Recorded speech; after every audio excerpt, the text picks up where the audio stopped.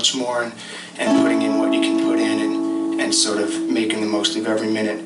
And uh, this probably won't come across so well acoustically, but I'm going to do it. It's called Incredibly Close. And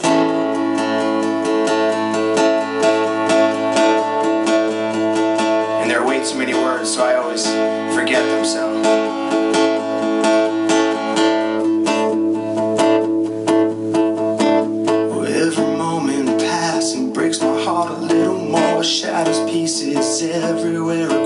Bedroom floor.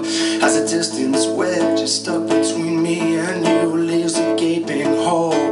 We fall into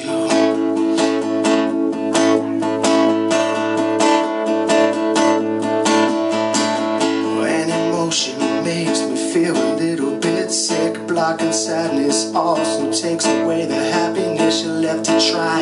Try to stand yourself up straight. You it doesn't mean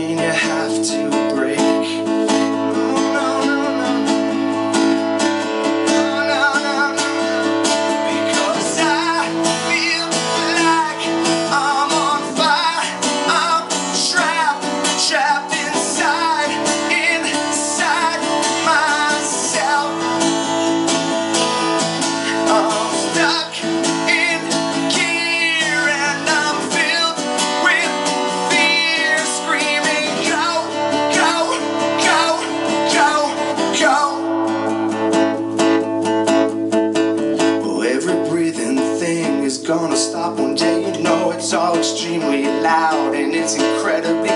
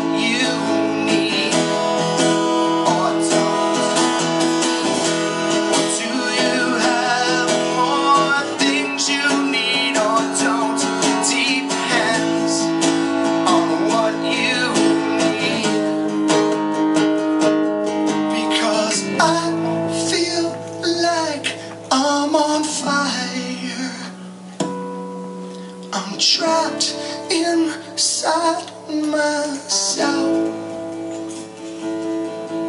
I'm stuck